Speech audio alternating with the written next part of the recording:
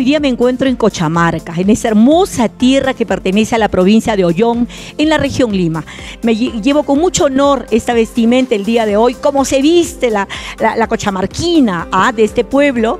Muy agradecido, hoy día hemos venido también con nuestras autoridades de diferentes distritos. A todos ese gran recibimiento, estoy muy agradecida. Hoy día vamos a compartir un momento no solamente de coordinación, sino también de trabajo, que es lo que vamos a emprender como gobierno regional aquí en Cochamarca.